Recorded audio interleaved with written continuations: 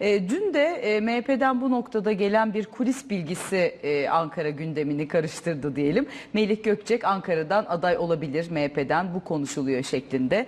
E, Adalet ve Kalkınma Partisi'nde uzun yıllar belediye başkanlığı yapmış bir isim görevinden istifa etti genel merkezin talebiyle.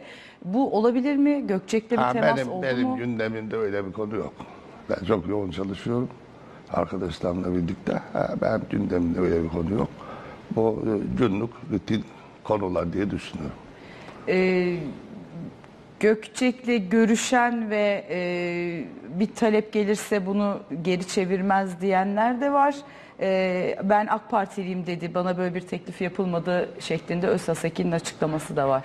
Yani Siz yani konuşmak istemiyorsunuz yani, ama konu yani çok ben ben tartışılıyor. bu konularda biraz mesafeliyim. Mesafeliyim. Ee, yani e, onun için herhangi bir görüş serdetmeyeceğim. Nihayet sözünü ettiğiniz kişi e, yani bizim partimizde e, belediye başkanlığı yapmıştır ve bundan bir süre önce de e, belediye başkanlığını bırakması istenmiştir.